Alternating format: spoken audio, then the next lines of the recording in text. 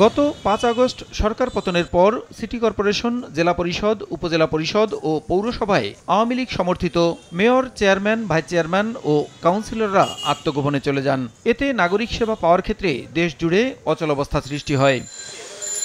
এমন অবস্থায় জনগণের সেবা পাওয়ার ক্ষেত্রে অচলাবস্থা নিরসনের উদ্যোগ নেয় অন্তর্বর্তীকালীন সরকার। বিশেষ পরিস্থিতিতে দেশের সিটি কর্পোরেশন, জেলা, উপজেলা, পৌরসভা সহ স্থানীয় সরকারের বিভিন্ন বিভাগের জনপ্রতিনিধিদের অপসারণ করার পাশাপাশি পর্যায়ক্রমে এসব স্থানে প্রশাসক নিয়োগ দেওয়া হয়। রোববার স্থানীয় সরকার বিভাগ থেকে এই সংক্রান্ত প্রজ্ঞাপন জারি করা হয়। দেশের ষাটটি জেলা পরিষদের চেয়ারম্যান, চারশো তিরানব্বই উপজেলা চেয়ারম্যান, তিনশো তেইশ পৌর মেয়রের পদ শূন্য ঘোষণা করা হয়। এছাড়া দেশের সাতটি পৌরসভায় থাকা প্রশাসককেও দায়িত্ব থেকে সরিয়ে দেওয়া হয়।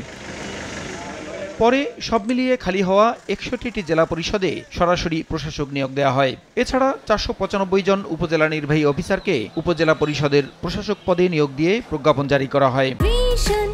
Vision Vision fridge hundred percent copper কন্ডেন্সারে তৈরি ভিশন ফ্রিজ তাই গুণে মানে অটুট থাকে বছরের পর বছর। এদিকে সোমবার বারোটি সিটি কর্পোরেশনের মেয়রকে অপসারণ করে প্রশাসক নিয়োগ দিয়ে প্রজ্ঞাপন জারি করেছে স্থানীয় সরকার মন্ত্রণালয়। উপদেষ্টা জানান আন্দোলনের প্রত্যাশা পূরণ ও ব্যবস্থা সংস্কারে প্রশাসকদের নিয়োগ দেওয়া হয়েছে। আন্দোলনের যে প্রত্যাশা এবং দাবি যে পুরনো কোনো রিজিম সংক্রান্ত একটা রিপ্রেজেন্টেটিভ বডি ছোট থেকে বড় পর্যন্ত। রিজিমের সঙ্গে সম্পৃক্ত নতুন যে যুগের সূচনা, ছাত্র আন্দোলনে, গণ আন্দোলন, গণবিপ্লব সাধন করতে চাচ্ছে তারই সেই প্রত্যাশারই একটা ধারাবাহিক এখানে প্রকাশ হয়।